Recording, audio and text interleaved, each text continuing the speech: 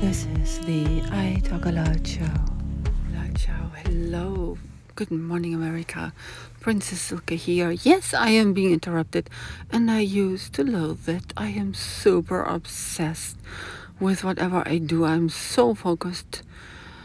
And yes, I am updating that page, putting all the playlist on it. That's what I'm working on right now. But here I am talking to you and just giving a little feedback, maybe What's up? Uh, it's like a summery day in Hamburg right now. now it's most love about it. A summery day in Hamburg. No, we're in California and it's like spring. Yeah, it's a tiny bit warmer today. it's still very gray. Okay, maybe I'm making fun of it. It's just so cold in Hamburg. Usually, so cold. Nothing enviable about it. Nothing.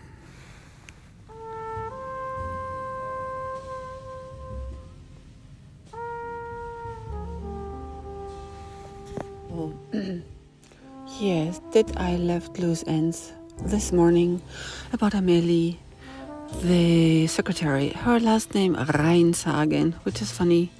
Rein means like clean, cleanse, cleanse, cleanse.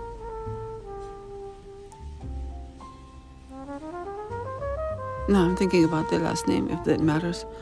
They're like Dutch cities called like that. I went to her house once in uh, San Angel. Yeah, a pretty neighborhood, like a lot, although streets are small, houses are small. She lived with her parents, I think. And here's what happened.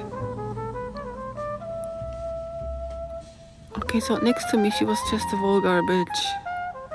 But without me, she used to be the German, which in Mexico is like, oh, special. Did she look like German? Yeah, some. Some, yes, yes. But it's difficult when you grow up in a country where you port yourself like a Mexican. Because that's what it is. At least what it was. Because those bitches didn't exist in Germany at the time. Yeah, even those. Uh, the planning ahead, that's just something Germans don't do for bitching. But Mexicans did. So I went to her house, and while the unexpected happened to her, I did not know. I had to be told those things because I don't understand them. So usually people would go to her house. Maybe that's what she wanted. Oh my God, she wanted to get overhand. That's why. So she showed me her house once. You, people would usually go, Oh my God, that is so amazing.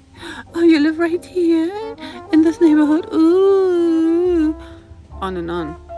But I don't go for shit. It was just a house, and it was small. I don't know. I don't do licking. I said so. And I wasn't that impressed.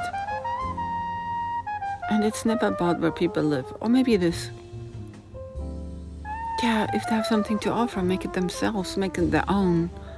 Have it as a point of I express myself. Yeah, of course. Otherwise, it's just a place. Didn't even belong to her. So, Oopsie daisy. Ego trip didn't couldn't involve Princessita Silke. Nope. So she I don't know. See, I have to look into the field. Not that it matters to me. Did she, did she not refocus her life? Must I go run around the world for being presumptuous? I'm going to live in the States? Finding a better business? If this is so much nicer here in Mexico? Because Vancouver people freaking freezing cold. Yes especially and particularly when you come from Mexico. You have no idea how hard it was to go live in France for a year, being so cold all the time. Because from Hamburg would be warm, but not from Mexico, Cuernavaca. Oh no. And she lived in the most privileged, um, antique, artsy place.